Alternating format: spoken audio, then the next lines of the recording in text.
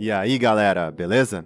Sejam bem-vindos ao Lockjump Podcast, o podcast da localização de games. Aqui quem fala é o Jean, tradutor profissional de jogos, trazendo mais um episódio para vocês. Bora lá!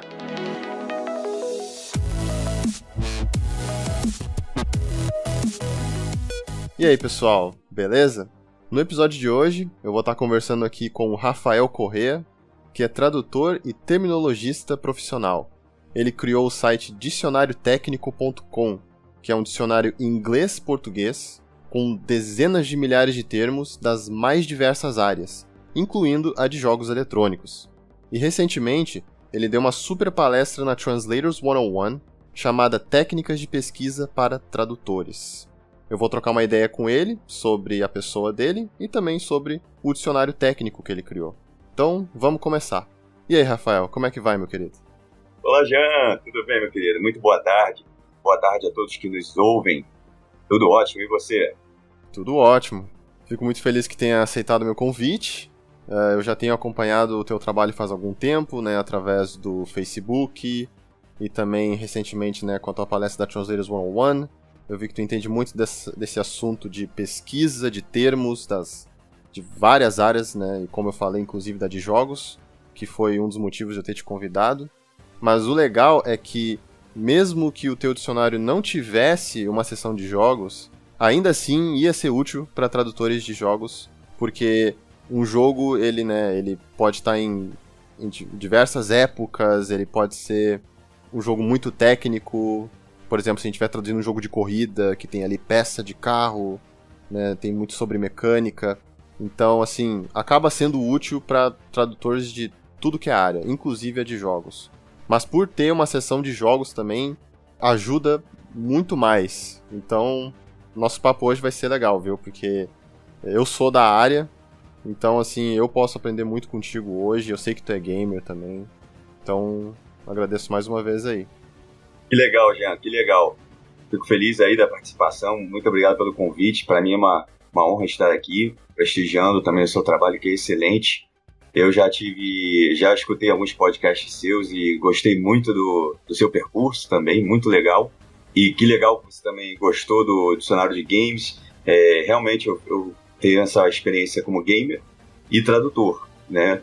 O que me levou a querer juntar o, o, o útil ao agradável. E eu já vinha nessa, nessa área de.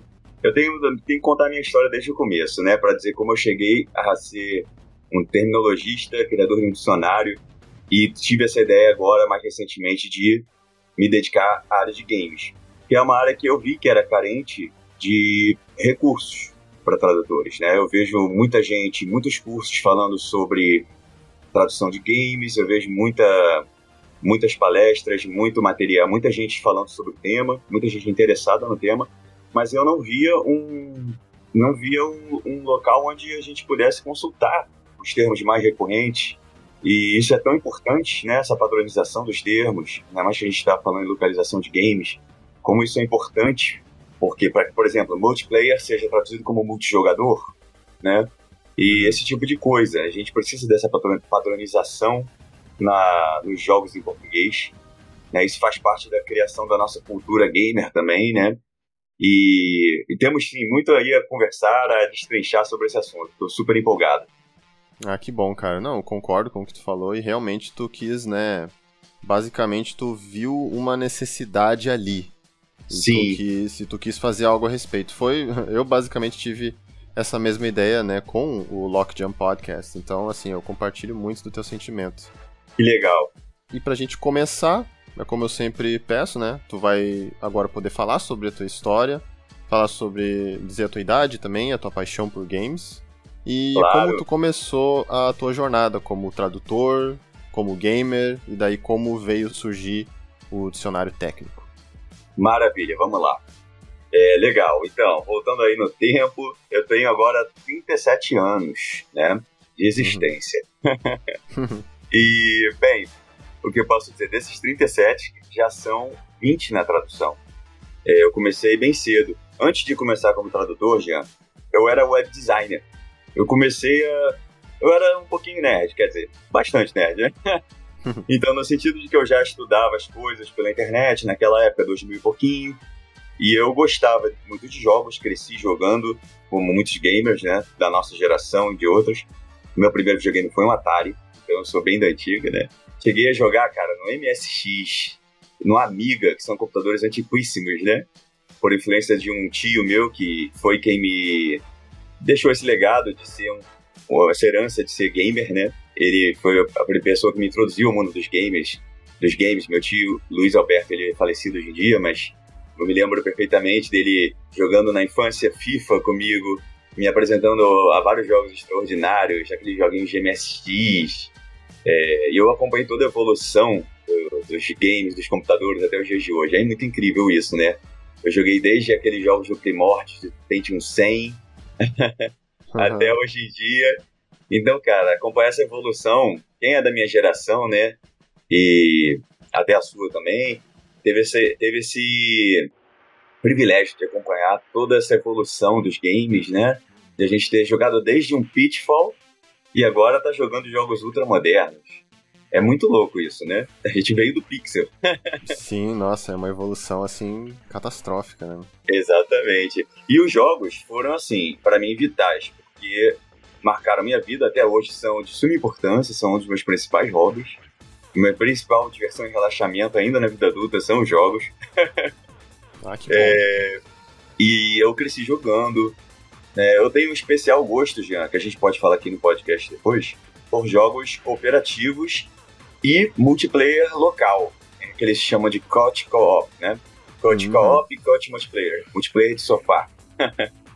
E é muito marcante dessa minha geração, que a galera chegava, juntava, reunia os amigos nos consoles antigamente tinham muitos jogos multiplayer, então a gente tinha essa coisa de ir para casa dos amigos fim de semana. Também teve a época das lan houses, oh, tempos maravilhosos ah. que a gente viveu. E essa parte específica dos multiplayers e dos cooperativos é o que mais me toca, mais me diz respeito. Até hoje em dia é meu estilo de jogo favorito. Eu sou grande fã. Eu mesmo, assim, é, hoje em dia eu sou tradutor, mas eu tenho um pezinho na programação. Ou seja, eu fui web designer programei um pouquinho de nada para desktop, então assim, eu tenho noção de como se programa um jogo, por exemplo. Eu nunca cheguei a finalizar um jogo, mas eu já fiz jogo da cobrinha, vamos dizer assim.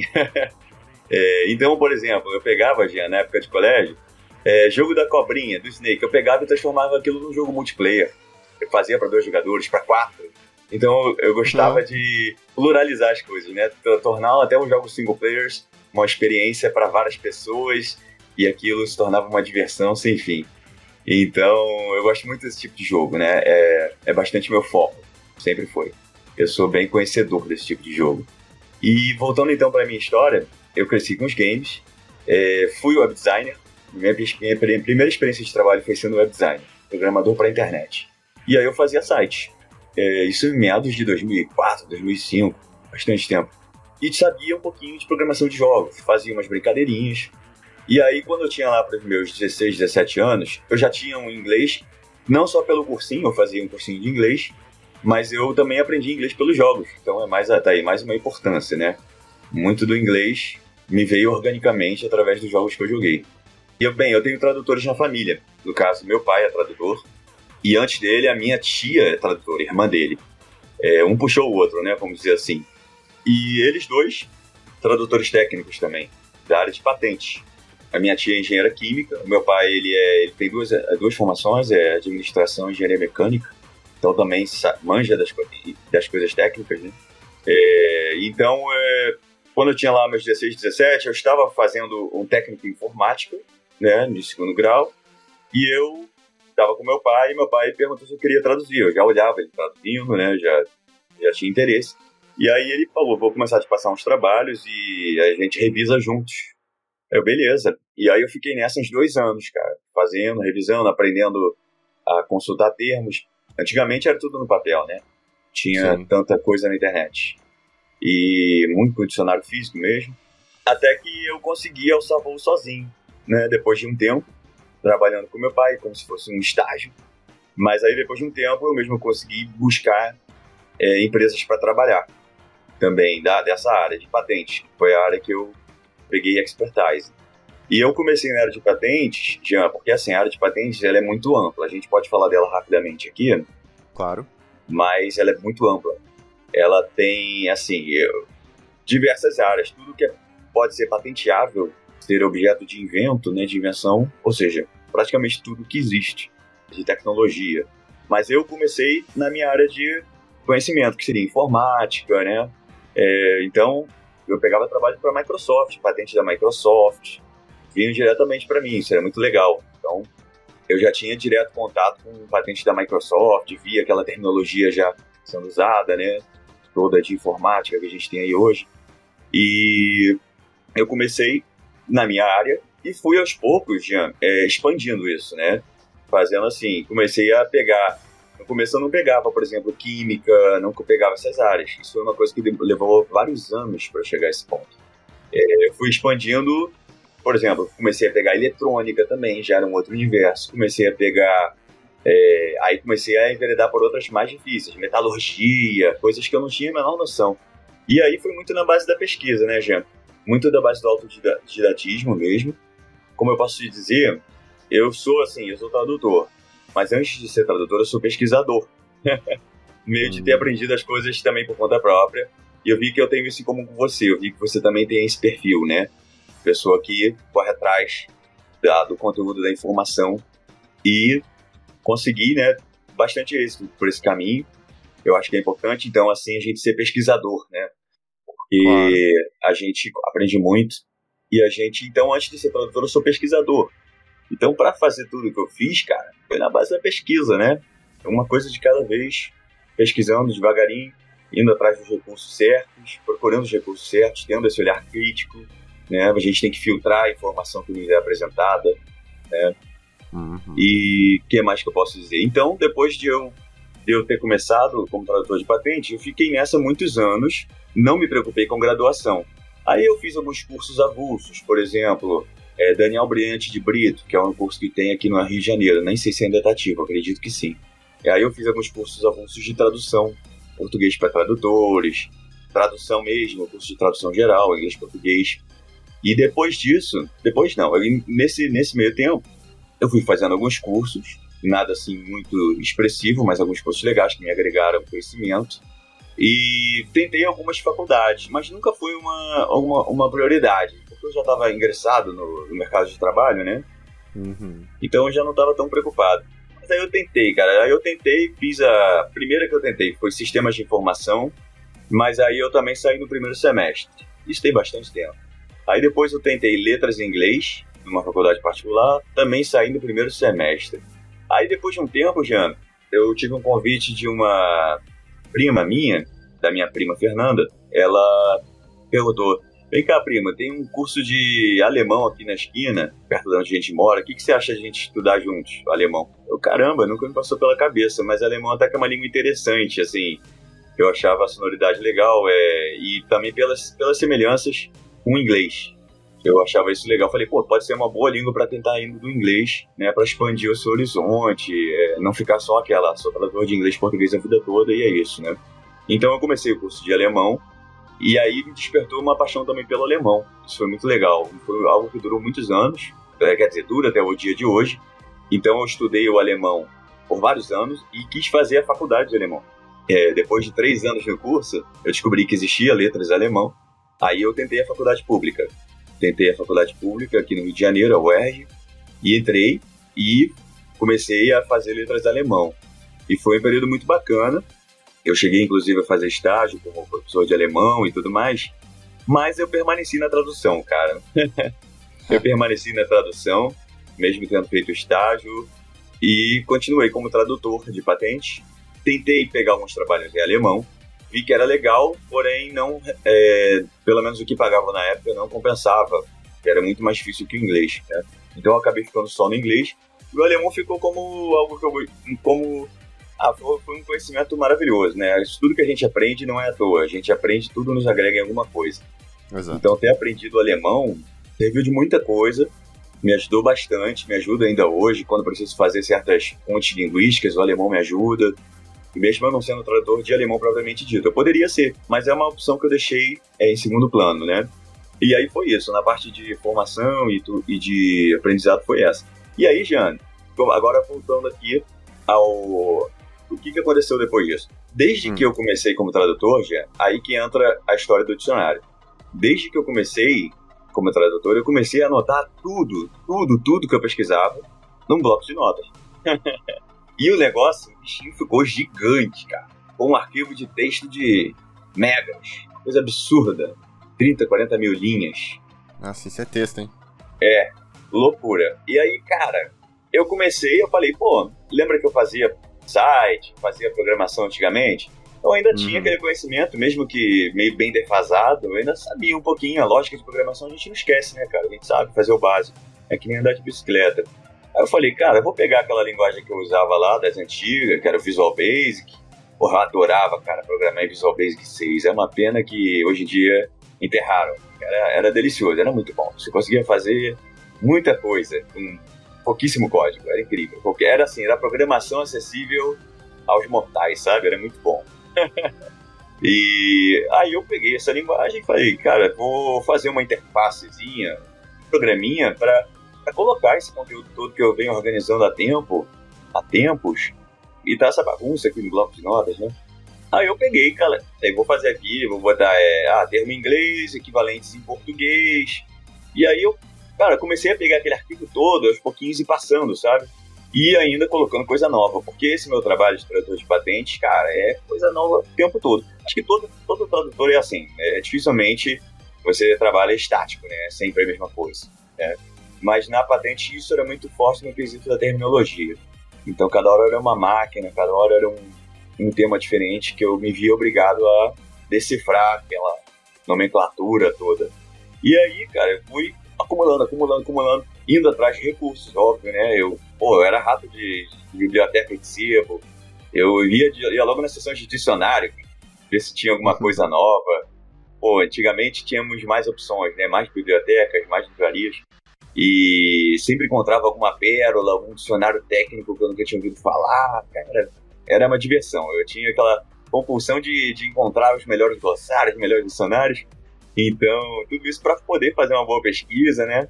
Poder encontrar a melhor resposta. E aí eu fui organizando, cara, organizando esse conhecimento, organizando. Eu tinha gosto pelo negócio, sabe? Tinha gosto de fazer isso. E continuei na tradução e eu fui, cara, organizando. E aí esse programinha que eu criei, primeiramente, que já era o germe, já era o, o embrião, né, a semente do, do que viria a ser o dicionário hoje em dia, eu fui aprimorando, eu fui, cara, e se eu colocar agora imagem para os termos, e se eu colocar explicação para os termos, entende? Porque tudo aquilo também me ajudava a entender melhor a, o termo que eu estava traduzindo, né? Tudo aquilo era contexto, né? Uhum. E aí eu falei, cara, legal, tô acumulando aqui um conhecimento bacana, o que, que eu vou fazer com isso, né, cara? eu tinha duas opções, né? Ou até mais. Eu poderia pegar aquilo ali e ficar sempre em glossário pessoal de consulta para mim mesmo, que é o que muita gente faz. Eu poderia publicar aquilo como um livro, como muita gente faz também, né? Ah, dicionário técnico de fulano de tal, glossário do fulano de tal. E aí eu fui, fui acumulando, e muitos, ainda sem saber que caminho tomaria. Então, cara, depois de um tempo, né, tá lá o negócio crescendo, falei, cara, se eu fizesse um site, né, me veio essa ideia de fazer o site. Antigamente, o meu dicionário ele se chamava Glossarium, com UM no final. Né? Hum, gostei do nome. É, era um nome interessante. Eu até cheguei a registrar a marca desse nome, aí tive problema, não consegui registrar, muitos problemas lá na época. E aí, algumas coisas me levaram a querer mudar de nome, mas eu gostava de glossário. É, eu mudei porque é, dicionariotécnico.com ajuda quando a pessoa vai pesquisar no Google. Ela encontra muito mais diretamente. O site fica melhor indexado. Mas eu não descarto esse nome glossário, pode servir para alguma coisa no futuro. Mas então, cara, aí eu fui organizando, fui melhorando e melhorando, criando, criando mais conteúdo e ao mesmo tempo também é, fui acumulando mais conhecimento dos meus trabalhos. Comecei a entrar em áreas que eu tinha medo, tipo química, farmácia. Comecei a tentar essas áreas e, claro, com a ajuda também da minha tia, que é engenheira química, eu, eu recorri a ela sempre que eu tinha que traduzir compostos, né? Hum. Também descobri muita coisa na internet. E outra coisa, eu sempre fui muito assim, já é, acumulador, mas é um acumulador no bom sentido. No sentido de que tudo que é útil, cara, eu tenho aqui arquivos de 2003 já. Tu não encontra mais. É. Eu tenho aqui glossários de 2004 a 2003. Eu fui dar uma olhada aqui. Tem coisa que não existe mais. Sim, porque os caras, né? Uh, porque algum link, algum dia, ele vai se perder. Os caras vão deixar de pagar o domínio, os caras vão ter que fazer a limpa lá nos servidores, e daí quando vê aquele Sim. conteúdo já não tá mais na internet. Eu vi uma dica sobre isso aí recentemente, acho que foi até no, no congresso da Abrates. A Val Ivonica falou: Ó, quando vocês acharem isso, algum uhum. alguma coisa, salvem como PDF. Porque aquilo Perfeito. ali pode não ficar na internet para sempre. Perfeito. E essa é a realidade pura, Jean. Você falou num tema aqui que para mim é muito caro, muito pertinente. Posso explorar um pouquinho esse tema? Claro, à vontade. Cara, a internet, é, existe um, um, comparativo, ela é como se fosse a biblioteca de Alexandria. Existia, se não me engano, era na Grécia, né? Uma biblioteca do século III a.C. e continha obras de grandes pensadores, entre Homero, Sócrates e Platão. E essa biblioteca ela pegou fogo. Hum. Eu só não estou conseguindo a localização. Acredito que seja na Grécia, Roma, algo assim. Ela pegou fogo e perdeu-se muita coisa. Tinha obras de, valor inestimável, né? Então a internet é como se fosse uma biblioteca de Alexandria. Ela é extremamente volátil, nesse sentido de que sites surgem, sites caem, é, servidores entram, servidores caem, né? Sim. Ela não tem uma solidez. A gente hoje a gente tem uma visão clara disso. E hoje em dia a internet está em franca decadência, a gente tem que, verdade seja dita, né? Eu tenho tido essa conversa com, com alguns amigos, ela está em franca decadência no sentido de que os pesquisadores hoje em dia são mais poluídos, né? Eles não dão preferência ao conteúdo, mas sim a quem paga. Não necessariamente ao conteúdo importante, mas sim ao conteúdo patrocinado. Então a gente tem uma crise assim de conteúdo hoje em dia. A, contra a qual eu luto sabe? É, é uma luta pessoal minha. As tentativas de fazer o dicionário técnico, já, é tentar criar uma solidez onde não existe mais solidez, sabe? uma solidez porque eu percebi essa natureza extremamente volátil. Isso me incomoda profundamente, porque eu sou uma pessoa que não gosta de ver é, informação útil indo para o lixo, coisas que são de extrema importância para profissionais, para tradutores, sendo jogadas fora, né? Então existe isso, existe esse fenômeno hoje em dia. A internet já não é o mesmo lugar que a gente conheceu antigamente. Não é. Nós hoje em dia estamos cercados Jean, de walled gardens, que se fala, ou seja, jardins morados. Ou seja, Facebook, Instagram, redes sociais fechadas, TikTok. Todas essas redes, o conteúdo ele não é indexado pelos buscadores. Nós tivemos uma, uma queda dos blogs, blogs pessoais e sites pessoais em detrimento né, tivemos um aumento do, dos, das redes sociais em detrimento dos blogs e sites pessoais, dos fóruns. Hoje em dia, que fórum a gente tem? Poxa, os fóruns, lembra quanta informação, cara, a gente tinha de diversas áreas? Os fóruns caíram em esquecimento. A gente tem hoje em dia o Reddit, olha lá, né? Sim. Bah, eu, eu, eu comecei sendo tradutor por causa de fórum, cara. Sim. Eu não lembro se eu já contei essa história, mas basicamente eu como é que era, né? Uh, tinha um jogo de PC, jogo de computador mesmo, de código aberto, chamado Warsaw. Ele tem, né, uhum. né, para Windows, Macintosh, Linux. E eu, eu frequentava o fórum que eles tinham. Hoje não tem mais, infelizmente. Não tem, né? Mas quando tinha, eu frequentava, mas eu era só mais lurker, assim. Eu ficava só lendo o que o pessoal ainda escrevendo. Aí quando veio, apareceu lá um tópico escrito Help us translate the game. Foi ali. Ah, legal. Cara, a minha história começou aquilo ali. Eu não sabia que aquele tópico ia mudar a minha vida. É, aquilo ali literalmente mudou a minha vida. De um fórum, né? Por legal. causa de um fórum. E o Sim. segundo jogo que eu traduzi também foi de código aberto e também foi por causa de um fórum. Que então legal, tu vê a, a, importância, cara. Ah, é outra coisa. Então, era outro mundo, né? Era o, era o mundo dos fóruns, né? E as coisas mudam, né? A gente teve essa migração toda da humanidade para o mobile que teve benefícios, mas também teve muitos malefícios, né? No sentido do, da perda do conteúdo, né? É. Agora a gente tem tudo até. A gente tem até muita informação boa em apps, por exemplo, mas aquilo tudo não entra no Google, não é, não é indexável. Então, a gente está numa modernidade ultra líquida, por assim dizer, a era dos stories, ou seja, as pessoas postam coisas super úteis, mas aquilo se apaga em 24 horas, cara. É. Sabe? Eu, pessoalmente, não vejo sentido nisso. Eu, eu para mim, isso é uma, é uma lástima que, o, que as coisas funcionem assim hoje em dia, mas elas são assim. Eu não tenho como lutar contra isso, a menos fazendo o meu projetinho, que é uma tentativa de manter lá, ó, aqui, ó, todas aquelas informações que se perderam, eu estou organizando e botando aqui disponível para vocês consultarem, né? É uma tentativa. Ainda existe, por exemplo, o Wikipedia, que é bem antigo, né? É, e sobrevive de doações e acaba ajudando muita gente, né? É, bem ou mal é uma das coisas que nos restaram. E é isso. Hoje em dia a internet está nessa decadência de conteúdo muito forte, muito forte, de ter poucos resultados. Em se tratando de tradução, o que nos salva hoje em dia como tradutor, né, Jean? Assim, principalmente para traduções técnicas, é porque nós temos a sorte de que o conteúdo de bibliotecas de universidades, ele é indexado e aparece, por exemplo, em Google Acadêmico ou no Google. E dali a gente tem acesso a muita informação importante, que serve de base para as nossas traduções. Uhum. Mas se a gente não tiver isso, a gente está ferrado, cara. Né? A gente fica no escuro. Então a gente ainda tem alguns recursos que nos salvam, mas o Google tá, tá caído demais. Né? As coisas estão caídas demais nesse sentido. E é isso, eu luto pela solidez das coisas.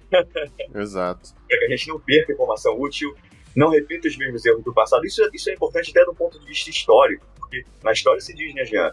Quem não se lembra do, do, de antigamente comete os mesmos erros do passado. Isso vale para formação de modo geral. E para erros também de tradução. Exato. Não, cara, assim, essa questão né, histórica que tu falou e também né, de a gente, de certa forma, perder conteúdo ou até certos conteúdos ficarem de certa forma ocultos. Eu posso te dar um Sim. exemplo a mais, além dos que tu já deu, que é o Discord. Embora eu, eu adore Sim. o Discord, eu, eu adoro o Discord, eu uso ele desde 2016. Foi, foi alguns meses depois do seu surgimento. Eu sei que ele nasceu em 2015, aí no início de 2016 eu comecei a usar por causa que eu tava fazendo parte de um clã na época, e todos nós usávamos o TeamSpeak. E daí eles falaram, não, bah, vamos pro Discord, Discord é melhor, ok. Aí todo mundo foi junto. E eu adorei, cara. Eu falei, nossa, cara, como é que eu não conheci isso aqui antes? Aí, só que daí eu fui vendo o que, que o que, que acontece hoje em dia. Algumas pessoas, elas, elas guardam informações muito importantes que tu não acha nem no Google em servidores de Discord. Ah, mas Sim. os servidores são abertos. Tudo bem, mas é que a pessoa muitas vezes não vai nem saber que o Discord existe. Nem e não, e, e, e, não, e não é conveniente a pessoa ter que ficar entrando em Discords diferentes só para pegar aquele, aquela informaçãozinha que ela precisa para depois só depois, depois só né sair do servidor e nunca mais dar de cara. Isso. Então assim Perfeito, é, é isso aí. É um fenômeno, faz parte desse fenômeno, né? Do é, vamos, como pode dizer isso aqui da é, o WhatsApp é outro também. Existem grupos com informações muito úteis, mas tudo se perde, cara se perde. É. Então a solidez está com dias contatos. É uma pena, né? Mas é um fenômeno mundial, né? Mundial, tem que saber lidar com isso. Mas é uma pena que eu vim de um mundo diferente. Eu vim de um mundo mais é, organizado, de informações acessíveis. E é por isso que eu luto, né? Eu, eu luto com o meu projeto do dicionário para montar algo sólido, para que os tradutores eles tenham uma base de termos já pesquisados, não precisem repetir todo aquele processo do zero, né? Porque existem pesquisas necessárias e existem pesquisas que poderiam ser economizadas o tempo, né? Sim. Não, cara, fenomenal o teu dicionário. Inclusive, vamos, vamos falar mais sobre ele agora. Sim, vamos. Eu que tenho uma curiosidade assim. Por exemplo, né? Tu falou que tu começou a organizar ali a tua terminologia e tudo mais para ti mesmo. Era só um dicionário pessoal antes de Sim. tu publicar ele na internet. Eu queria saber assim que quando tu lançou o dicionário técnico online, ele já tinha uma seção de jogos ou isso foi crescendo com o tempo e tu adicionou depois? Perfeito, boa pergunta. Não, ele não tinha uma seção de jogos. A seção de jogos eu comecei tem um ano somente. Antes, antes disso não havia nenhum termo específico de jogos, nenhum. É, o que era um pecado, né? Porque eu, com a experiência de gamer, podia fazer isso bem feito, né? Sabia que poderia. E foi só quando eu, eu conheci o, um outro tradutor, que é o Gabriel Lima, conheci através dos grupos de WhatsApp, e comecei a trocar uma ideia com ele, vi que ele era gamer, ele, ele se apresentou, ele veio muito interessado em participar, colaborar no meu dicionário, né? E aí eu falei, fiquei pensando, olha, é, é difícil conciliar, ele é um trabalho autoral, né? Então eu faço sozinho, é difícil é, integrar alguém nisso. Né? Até porque eu não teria como pagar ninguém por isso, né? Eu tô no momento que eu eu, eu arco com recursos desde sempre para poder esse dicionário no ar. Mas eu falei, cara, o que você quiser sugerir, tô à vontade. Mas aí eu, pô, o, ele se tornou amigo meu e eu vi que a gente tinha essa paixão por games em comum, a gente trocava muita ideia de games. E aí veio essa ideia de. Eu falei, cara, a gente tem isso em comum de jogos. Aí eu comecei a lembrar dessa situação. Pô, não temos um dicionário de jogos, não temos é, algo no mercado nesse sentido. Temos no máximo alguns glossários na internet de alguns sites, mas é muito pouca coisa em português. E aí é. eu falei, cara, vou juntar com esse meu amigo, que eu tenho uma experiência e ele tem outra, e é sempre bom porque não fica só uma cabeça pensando, a gente consegue discutir com uma, é, os termos é, com mais riqueza.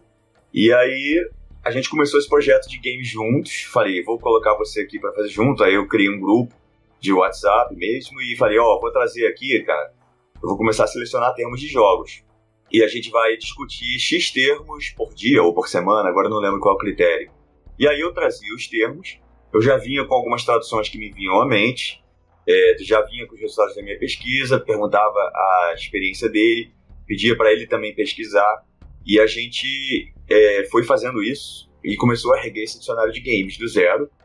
Cara, é, assim, no meu dicionário de modo geral, ela foi sempre bem random, bem aleatória.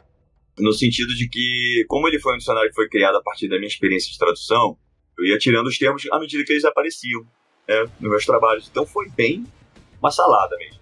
Só que no, no, conforme eu fui transformando esse dicionário numa ideia é, real de, de, colocar na internet, colocar no ar, eu tive que começar a ter outros critérios para que o dicionário não se tornasse uma coisa esburacada. Ou seja, a pessoa pesquisa às vezes um termo simples e não tem. Eu preciso que o meu dicionário também, se eu quero ser um dicionário técnico completo, ou um dicionário de uso geral inglês-português, ele também se propõe a isso, eu tenho que ter desde house até uma palavra técnica é, complexa, de um termo de motor, né, seja lá o que for. Mas eu vou Sim. ter que ter os termos simples. House, buy, hat, bem abado em inglês, sabe? E, cara, é um trabalho muito grande, porque quando tu vai ver um terminho bobo desses, pega um termo tipo house, por exemplo, é, aí tu pensa, ah, é só casa, né? Vai nessa, cara. É. é casa, é Câmara dos Representantes, é, é um monte de coisa. Então, dá um trabalho enorme. Mas é muito recompensante, cara, porque eu sei que, aquele, aquela pesquisa ela não vai pro lixo, sabe? Eu sei que aquilo ali vai ser reutilizado inúmeras vezes por inúmeras pessoas. O alcance da internet é uma coisa fabulosa ao nosso alcance, né? Exato. É, é uma coisa fabulosa que a gente tem nas nossas mãos. Então, eu podendo fazer um trabalho bem feito ali, aquilo ali vai servir para muita gente. E eu quis, né, Jean, oferecer um trabalho de qualidade. É, ou seja, eu quis criar aquilo que eu gostaria que existisse e não encontrava. A minha vida toda, qual foi a minha motivação? Eu falava, eu ia atrás dos dicionários, mas assim, eu encontrava tudo espaçado, né, cara? Eu encontrava um ali, outro isolado aqui, um lá nos confins da internet, cada um num trechinho, num cantinho do mundo. Cada informação perdida num cantinho do mundo. Então esse trabalho de organizar, botar tudo num lugar só, é trabalhoso, mas cara, é o que eu amo fazer, entende? É, eu gosto tanto de fazer isso que eu parei de traduzir pra ficar fazendo só isso. eu não era por mais que eu trabalhei, eu trabalhei 20 anos com a tradução de patentes, mas eu não era totalmente feliz nela, por incrível que pareça. Eu muitas vezes me via esgotado, porque não é uma área muito bem remunerada. Você precisava ter uma produção muito grande para chegar a algum lugar, para conseguir tirar uma renda decente. E apesar da sintaxe do texto em si ser relativamente simples, né? A tradução de patentes ela não exige grandes habilidades linguísticas, vamos dizer assim. Você não precisa muito de um texto muito estilizado, é um texto técnico bem bem durão, bem bruto. Porém, a parte da terminologia é todo o desafio, é daí que veio o que me levou a criar isso tudo, né? O grande desafio sempre foi a terminologia na, na minha área. Mas eu não era plenamente realizado na, na profissão só como tradutor. Eu, inclusive, né, depois de muitos anos trabalhando, eu comecei a ter uma estafa, a ter um burnout, entende? Porque eu trabalhava numa produção muito acima do que de uma pessoa normal para poder ter um ganho que me permitisse viver direito. E com, com o passar dos anos, a coisa se deteriorou ainda mais. Né? Hoje em dia, eu fiquei com o mesmo valor de, de, por palavra durante 10, 15 anos. E eu não tinha poder de negociação com essas empresas. Elas é que ditam o valor a pagar por palavra. Então, é, eu, eu tinha dois caminhos, Jean. Ou eu enveredava por outros caminhos da tradução, certo? E tentava ser tradutor de outras áreas, por exemplo. Ou eu pegava aquilo que eu amava fazer, que era compilar termos técnicos, e tentava ganhar dinheiro com aquilo. E eu já estava com, com bastante estafa mental de ter traduzido muito por muitos anos, né? E eu falei, cara, não quero ir para outra área de tradução. Mas eu continuo amando e aquilo ali me dá uma motivação sem fim, aquilo de ficar pesquisando os termos. Então foi daí que veio essa motivação e ao mesmo tempo foi uma saída para mim, foi uma saída emocional para mim também, para eu continuar trabalhando na área. E também foi onde eu descobri uma vocação do que eu gosto de fazer e que eu, que eu acredito que eu saiba fazer bem né, e consiga ter um resultado bom e que, e que ainda por cima vai ajudar outras pessoas. Porque eu vou te falar, Jean, é, eu traduzi patentes por 20 anos, certo? Sim. 20 anos, cara. Em média, 1 milhão, 1 milhão e 500 mil palavras por ano. Muito maçante. Então, só que assim, para onde foi tudo, todo esse texto que eu fiz? Eu te pergunto. Ele foi depositado, ele foi arquivado, ele só serve para fins jurídicos, de numa eventualidade de uma daquelas daquelas invenções que eu traduzi entrar em disputa judicial, talvez aquilo ali vá ser, seja usado por um juiz. Mas assim, eu pessoalmente traduzi 20, 30 milhões de palavras para ninguém ler. Entende? Nossa, isso é. Bateu uma bad agora. Bateu uma bad, né, cara? Não ah. que isso fosse um peso para mim, afinal eu fazia aquilo só pelo dinheiro.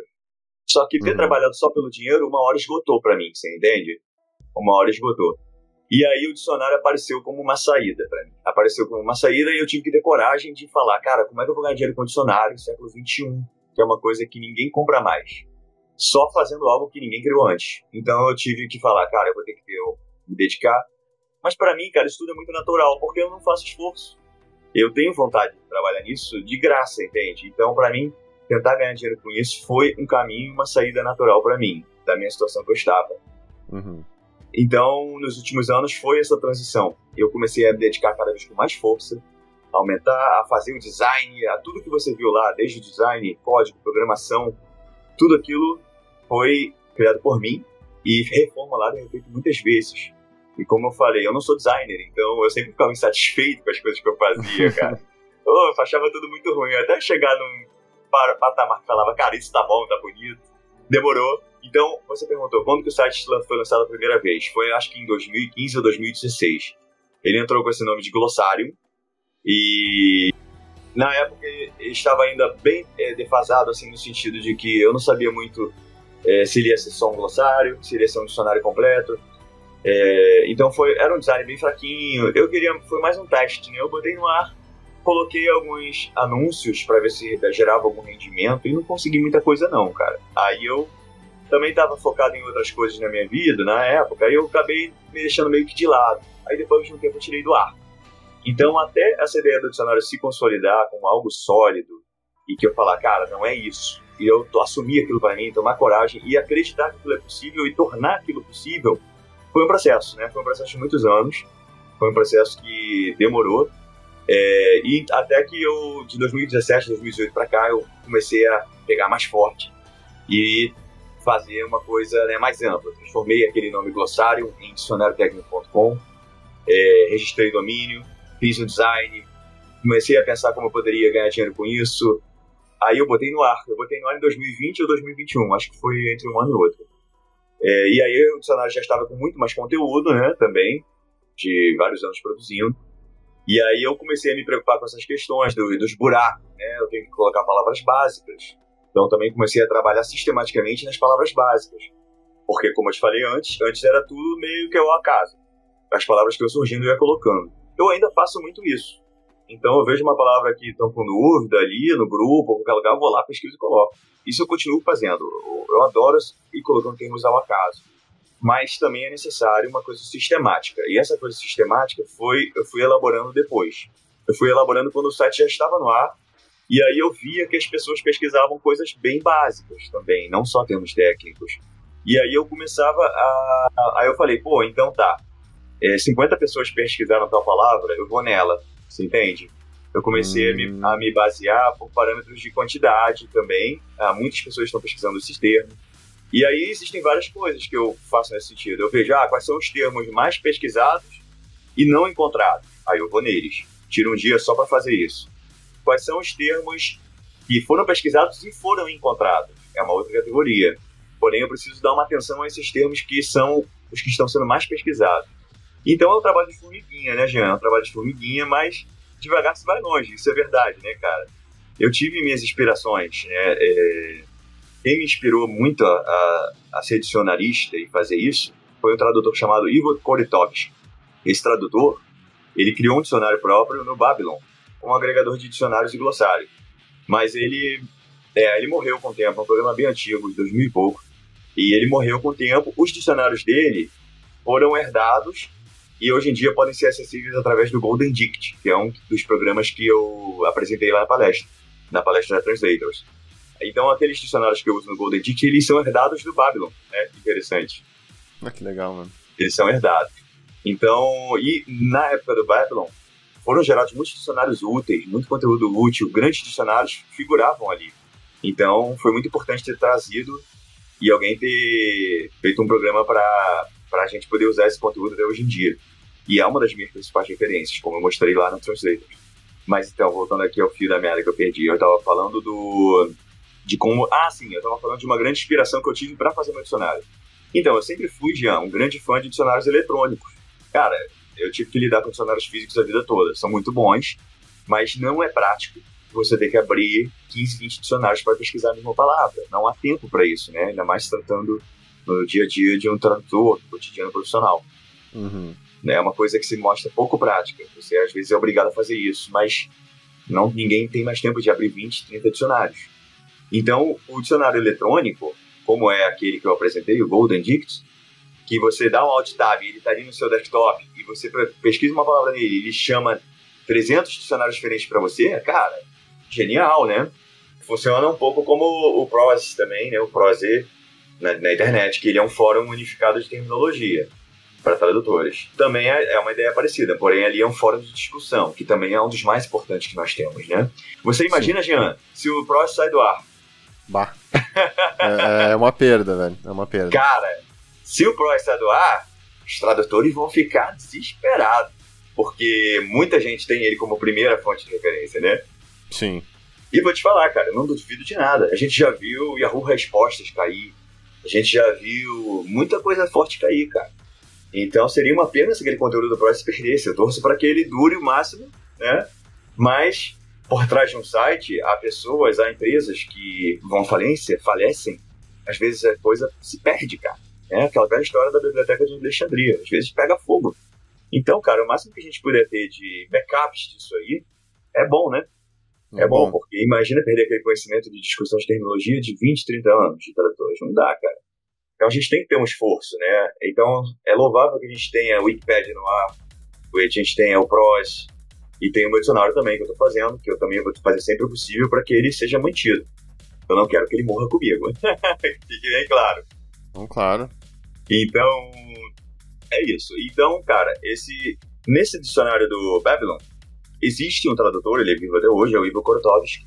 Ele fez um dicionário que eu considero, assim, é, um dos maiores um dos melhores dicionários que existem para tradutores de inglês, que é o Ivo Korotovsky Translators Dictionary, English Portuguese. Ele hoje em dia ele é gratuito, né? O Ivo ter disponibilizado gratuitamente eu considero uma benevolência, um ato de caridade. Ele poderia cobrar quanto ele quisesse aquilo ali. Que legal. Porque o dicionário dele, para você ter uma ideia, tem 45 mil entradas hoje em dia. Porra! Amigo, sabe quanto eu consegui fazer até hoje? Eu tô aqui fazendo há 20 anos, eu, eu tô em 39 mil. Nossa, velho. Então, pro, pro cabeça ela ter feito isso, cara, é dia e noite. É, e assim, é um conteúdo de muita qualidade. Então, é um dicionário que mudou minha vida profissional. Porque ele consegue fazer com que você encontre soluções tradutórias geniais para coisas simples, coisas que às vezes de uma saída difícil. Então, o Ivo Krotovsky foi uma grande inspiração para mim. Ele demonstrou que não só era possível você sozinho criar algo grandioso, né? mesmo sendo um trabalho lento, aquilo ali com certeza ele fez a vida toda dele, de 40 a 50 anos ele deve estar fazendo aquilo. Mas ele demonstrou, e além disso, aquilo ali mudou minha vida e de muitos tradutores. Né, você pode ver os comentários lá do dicionário dele na internet, pessoal fala, cara, isso aqui é tesouro.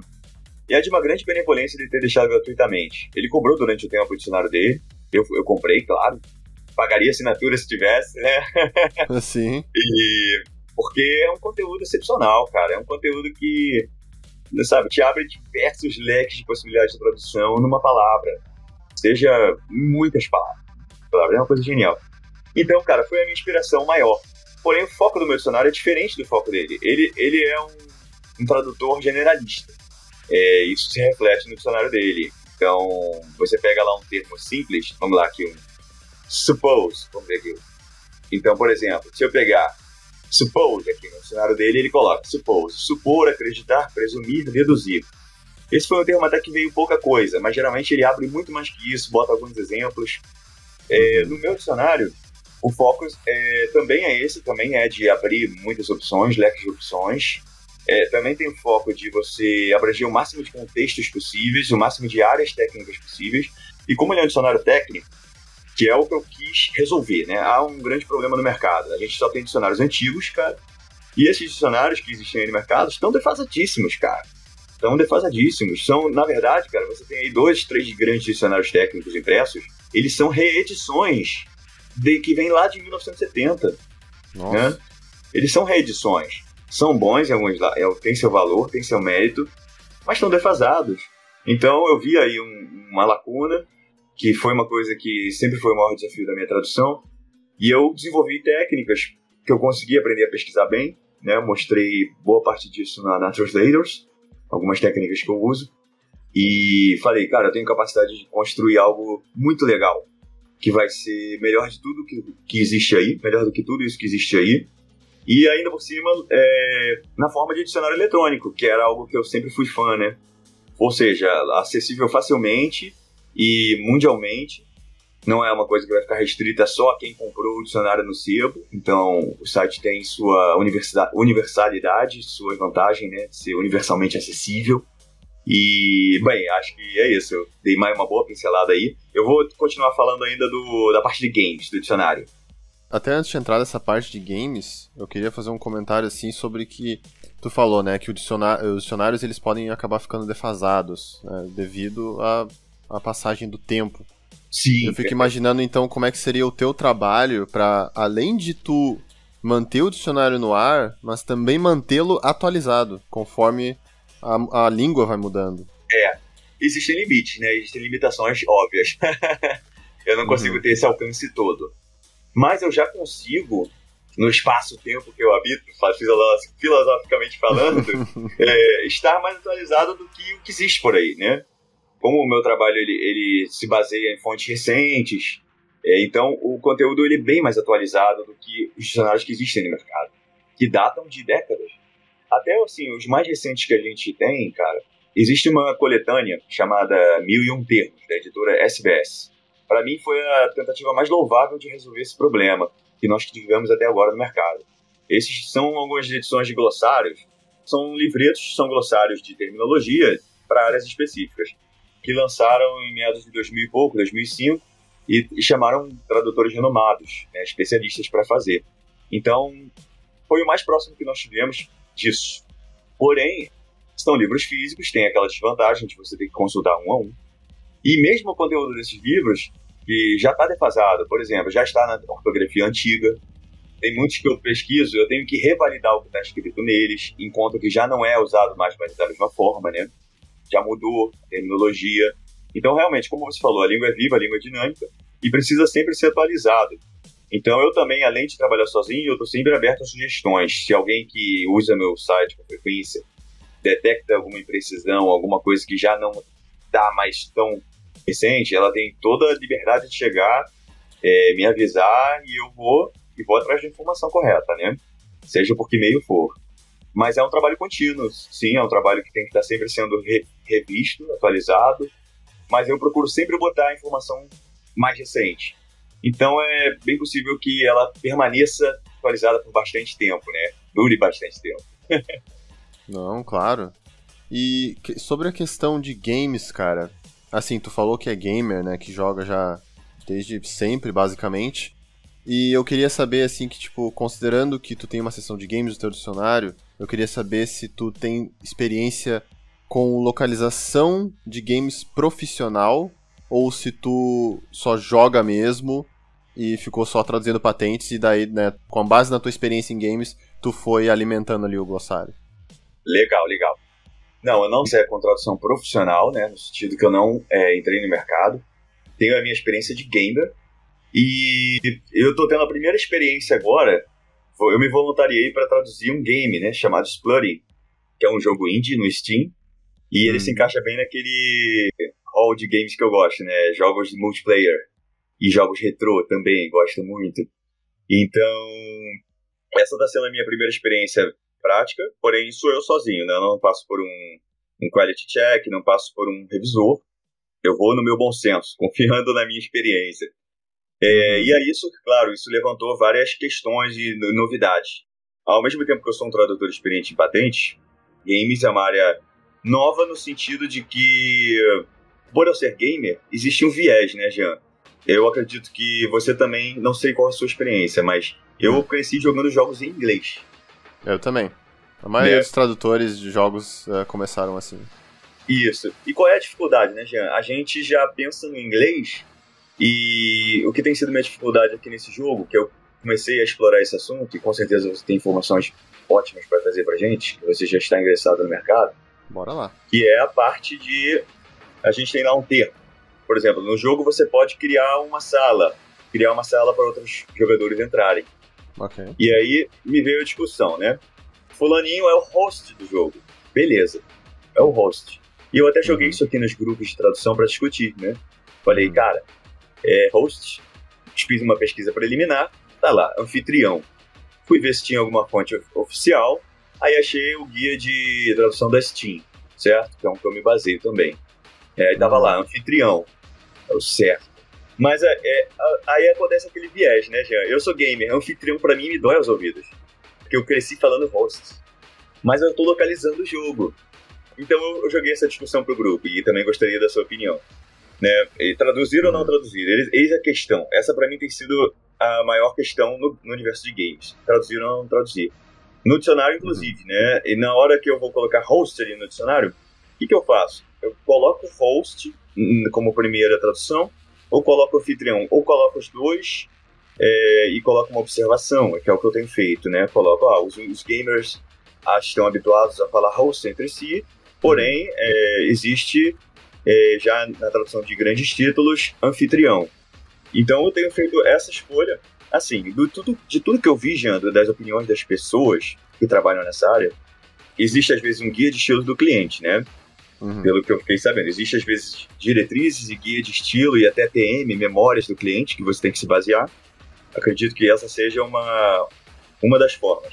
A outra, eu, a outra linha que eu vi que eu acho que eu me identifiquei também, falaram assim: é, ah, por exemplo, o termo host você pode traduzir como anfitrião. É, é importante que a gente traduza para a gente criar a nossa cultura de termos né, nacional.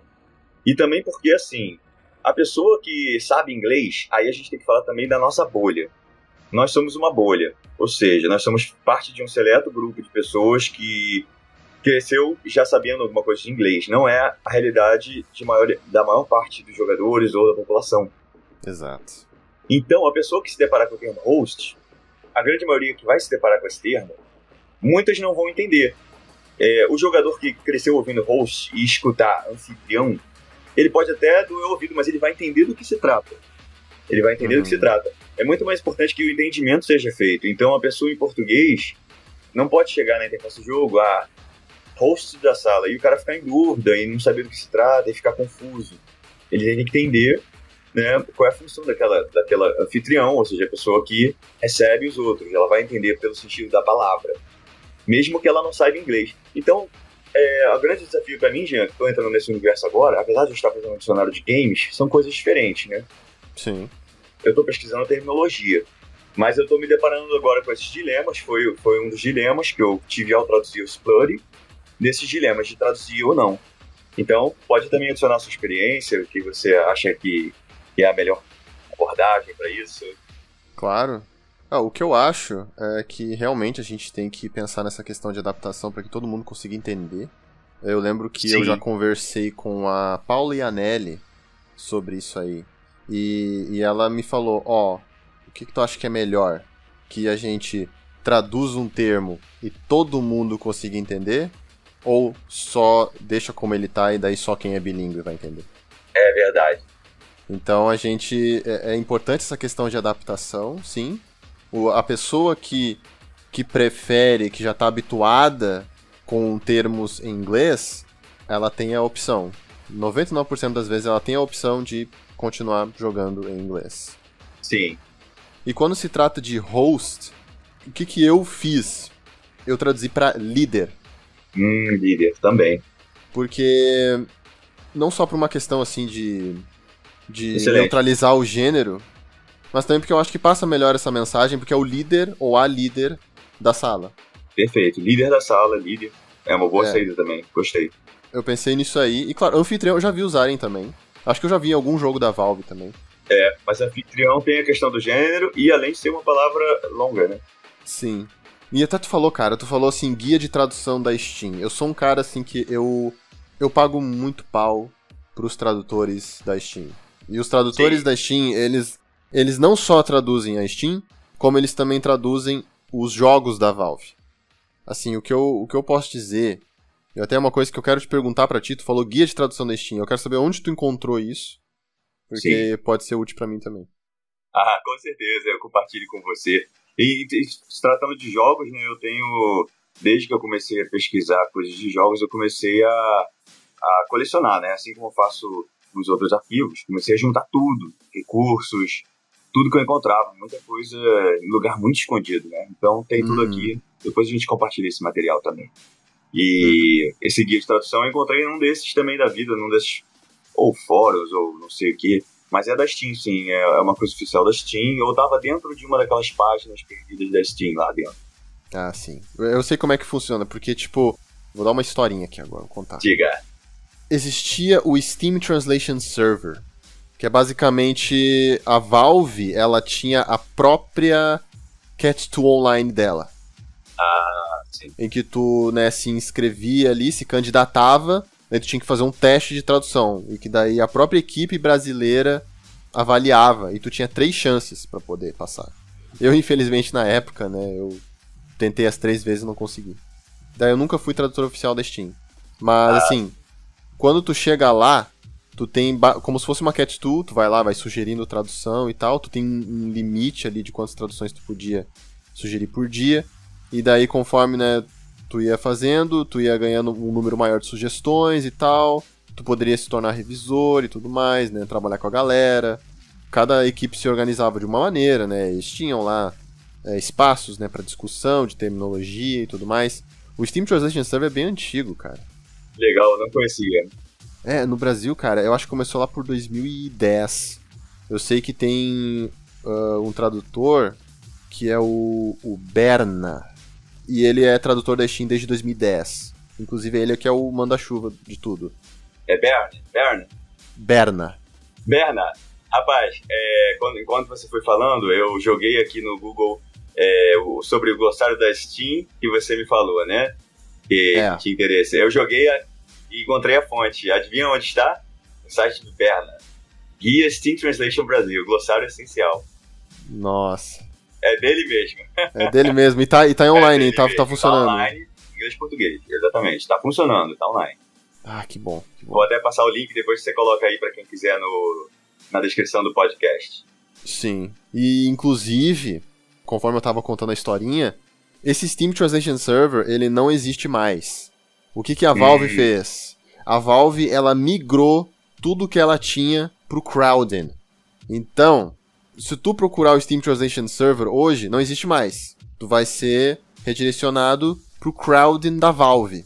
Nesse Crowden da Valve, tu vai encontrar lá é, localização pro Team Fortress 2, Dota 2 e CSGO que vai se tornar, né? Já tem o CS2, né? Já estão fazendo a migração já.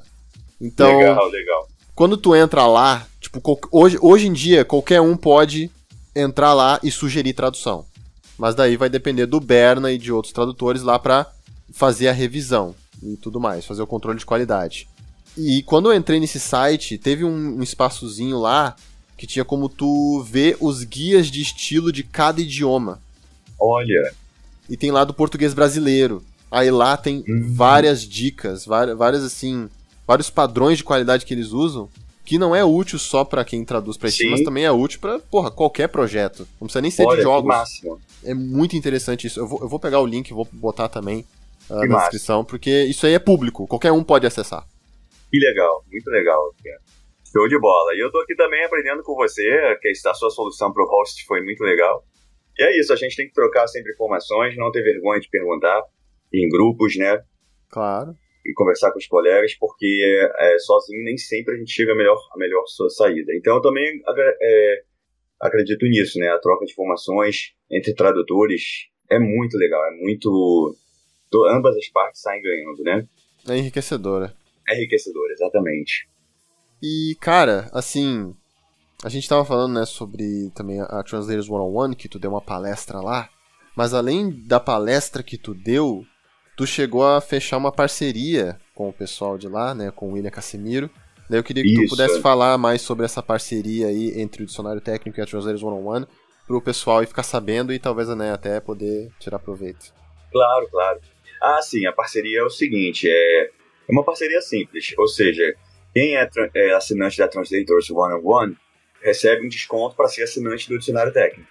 Né? O valor é, da mensalidade cheio é 20 reais por mês. Aí ele cai para 15. E quem é assinante do dicionário e quiser assinar Translators também recebe um desconto. A mensalidade cai de 42 para 37. Também um desconto de 5 reais. Então é isso, foi uma iniciativa de desconto mútuo, né? E, já que as duas plataformas funcionam com, com assinatura, a gente achou que essa fosse a melhor saída. E são plataformas complementares, né? O, o dicionário serve para pesquisa de termos, que é super importante para os tradutores, e a Translators também é para formação continuada e, e tudo sobre o mercado. Né? A Translators eu estou conhecendo agora também e estou gostando muito. E você mesmo já, já apresentou lá também, né? Já. Falei sobre a ferramenta TQ Auditor para fazer comparação de arquivos bilíngues. O pessoal também que quiser dar uma olhada. Eu vou deixar o link também. A vantagem é que, tipo, a tua palestra, ela, ela ainda tá como para assinantes free, né? A palestra, não, eu acho que ela já está só para assinantes da plataforma, assinantes. Ah, então foi algo temporário, então. Foi algo temporário. Ah, pode crer. Não, então sem, sem problema nenhum. Bom, a mensalidade, assim, do mesmo jeito é, é barata. Tu paga ali, mesmo que a pessoa não seja assinante, do dicionário técnico e queira só assinar a Translators 101, 42 pila.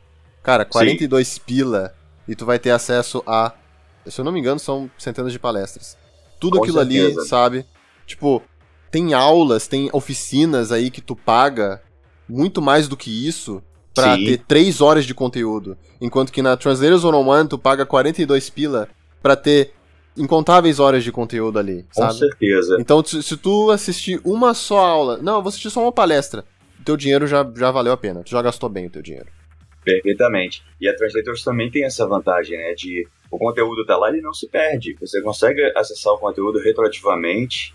Não é porque o conteúdo foi feito há dois anos, há dois anos que ele necessariamente está defasado ou não serve mais. Exato. Né? Então, é isso, a gente tem que resgatar e, e manter de pé as coisas boas de valor, não deixar elas se perderem com o tempo, as informações úteis. Né? Eu acho isso importante e a Translators faz esse trabalho também.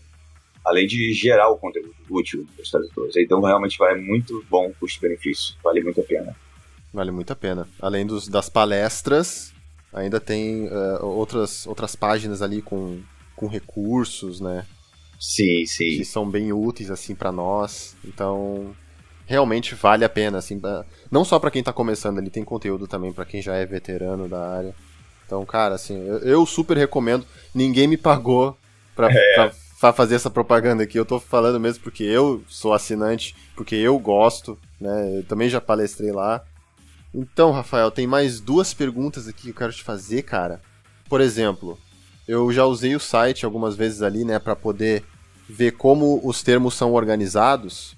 E eu Sim. percebi ali que quando tu clica num termo, tu coloca exemplos de uso daquele termo.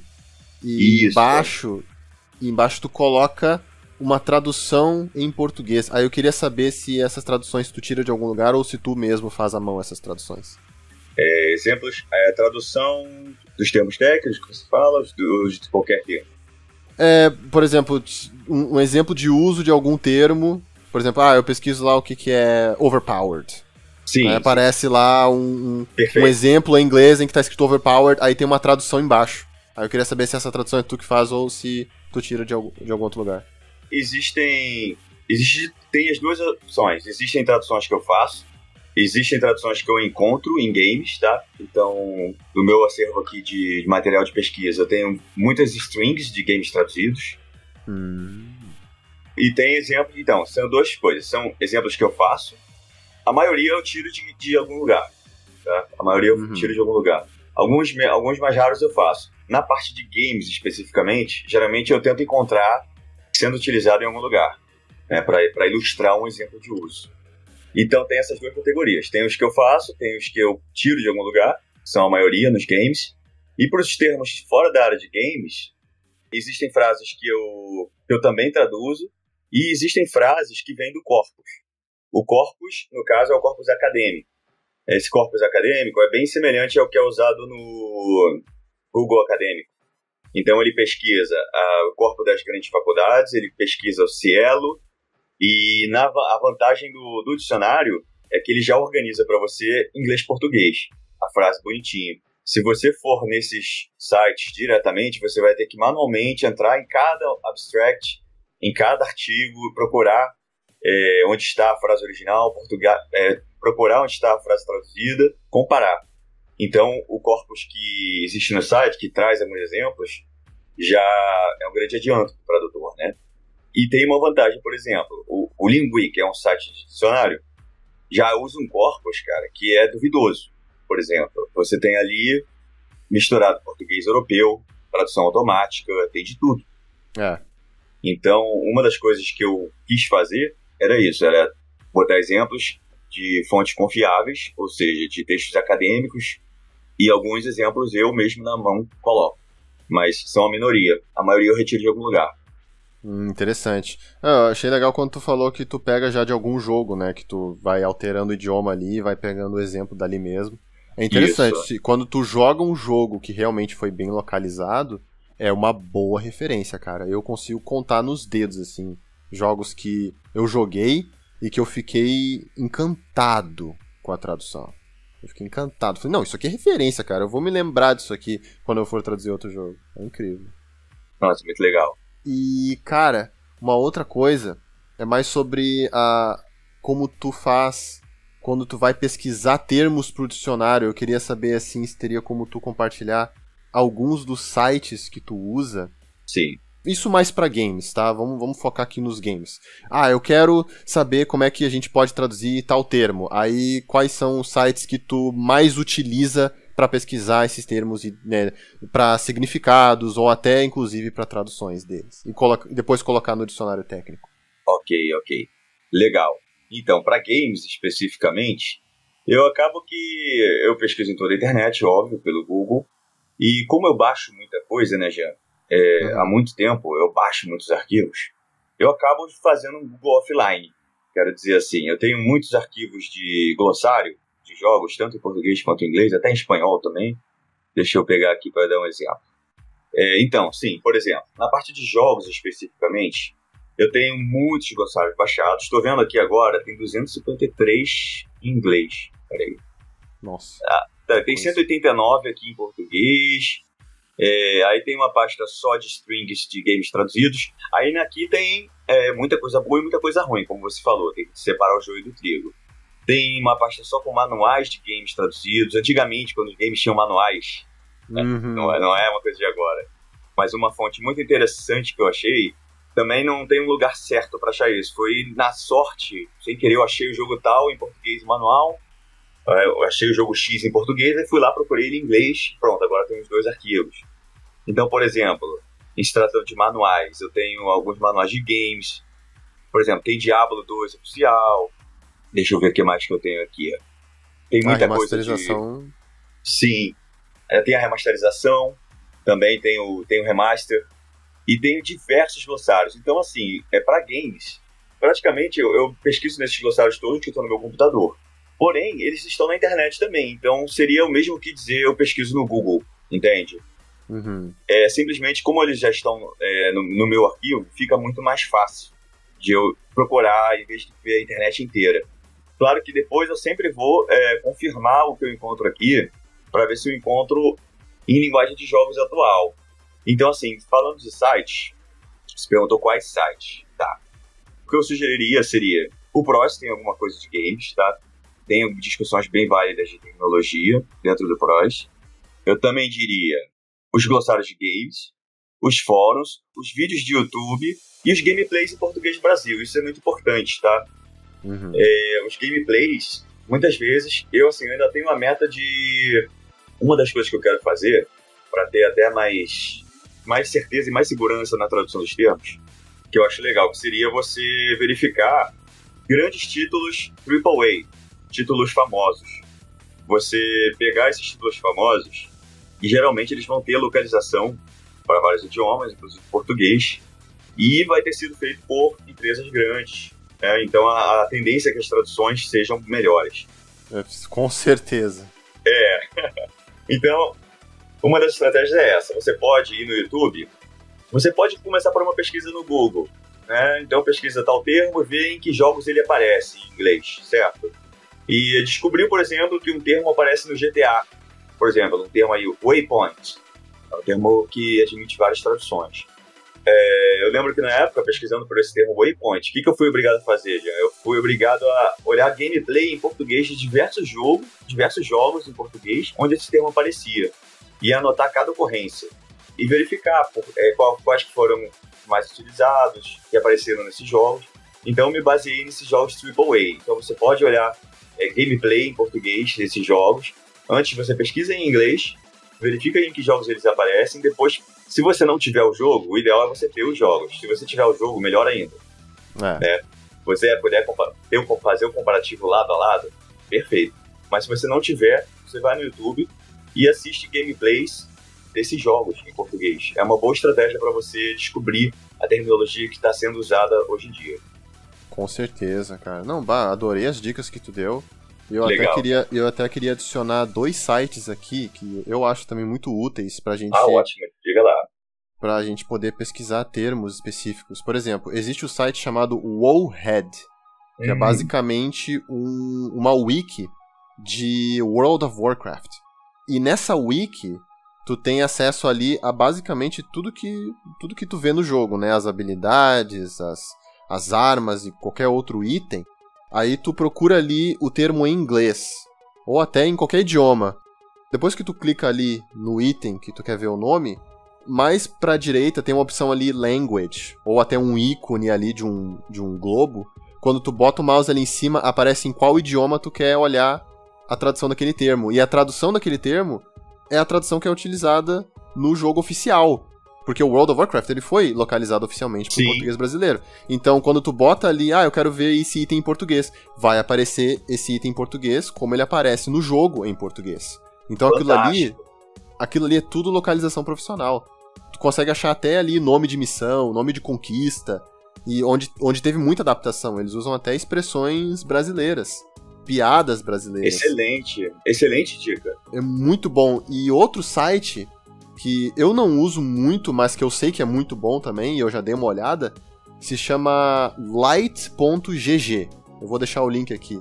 Esse light.gg é um wiki de Destiny 2, que é um, né, um jogo de FPS muito famoso online, Sim. e que ele também tem essa mesma pegada de tu poder olhar ali os itens e, e trocar o idioma que tu quer. Tem um ícone de uma bandeira ali, tu clica ali e tu pode colocar em português brasileiro. Daí aparece a tradução oficial da, daquele item, daquela habilidade e tudo mais. É a, me é a mesma utilidade. Cara, é muito bom Olha esse, esses dois sites. Então eu vou deixar os links também na descrição. Excelente dica, Jean. Excelente. Eu gostei muito desses dois sites, viu? Ótimas fontes de referência. E anotem aí, pessoal. Muito bom. Bom, cara, chegamos aqui ao fim da nossa entrevista, né? O tempo voou aqui, a gente trocou bastante, trocou bastante experiência sobre pesquisa terminológica, sobre né, histórias, de como a gente guarda todos esses termos, né, e da, da preocupação que a gente tem que ter também para a gente não perder tudo isso, porque é útil, não tem por que a gente perder realmente. Sim, sim. Eu agradeço também por todo o conhecimento que tu compartilhou com a gente aqui hoje. Eu também aprendi contigo. E, cara, a gente vai se falando. Eu espero que um dia a gente possa trabalhar em algum projeto junto. Sim, sim. Que legal, já. Para ter o nosso DNA ali, porque porque localização muitas vezes, na maioria das vezes, para falar a verdade, é um trabalho em equipe. Então tu vai ter ali Sim. o, né, o, o sangue ali de cada pessoa que trabalhou naquilo, sabe? É, não é um trabalho de uma pessoa só. Então a gente tem que valorizar todo mundo que, que contribuiu para que aquilo se tornasse o mais acessível possível para os jogadores. Com certeza, com certeza. Eu também só agradeço, Jean, obrigado. Foi excelente a conversa, aprendi também muito contigo. E com certeza quero continuar trocando essa ideia de games de tradução. E tem muito a aprender também ainda, né? Todos nós. E então, e também, assim, também te dar parabéns pela sua história, da forma que você entrou na, no mundo dos games. Eu, eu admiro a sua história e, e vejo que foi uma coisa de coração, de vocação também. E eu tenho Sim. isso em comum com você, que eu também estou tentando viver do que eu gosto. E eu digo, é algo muito difícil você viver do que você gosta, mas é recompensador e vale muito a pena. Lute atrás do que você acredite que é possível na sua vida e procure as formas que são possíveis de você botar isso na prática e o seu esforço um dia vai, ser, vai ter o retorno, com certeza. Sabe as palavras, cara. Muito legal. Então é isso, pessoal. A gente se vê na próxima. Falou aí. Falou, um grande abraço a todos. Tchau, tchau. Até a próxima.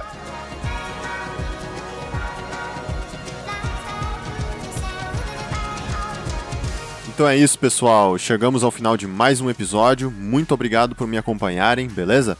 Se estiverem escutando pelo YouTube e quiserem fazer algum comentário, fiquem à vontade. Não esqueçam de deixar o like de vocês, caso tenham gostado, tá bom? E é isso aí. Vejo vocês no próximo episódio. Falou!